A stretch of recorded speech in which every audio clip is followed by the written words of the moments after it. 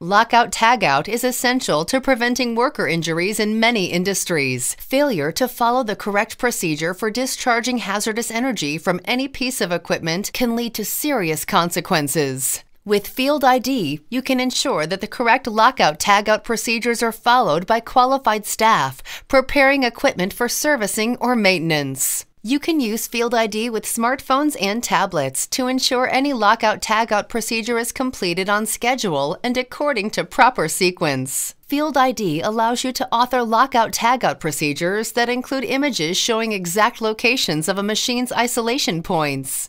You can also track approvals and revisions to your procedures. For an employee conducting the lockout, the procedure starts with scanning the procedure sheet at the machine's location. Field ID will lead the worker through a sequence of isolation points, each clearly indicating an energy source that must be discharged. Field ID can help you ensure each isolation point is discharged in a specific order, and it will record the date and time as each of them is completed. With your equipment properly locked out, all of the details from the procedure will sync to the cloud. Field ID will also place your lockout procedures data on a visual timeline, giving safety managers easily accessible proof of the exact sequence and isolation times for the completed lockout. When you're ready to reverse the lockout, following the unlock procedure in Field ID is just as easy.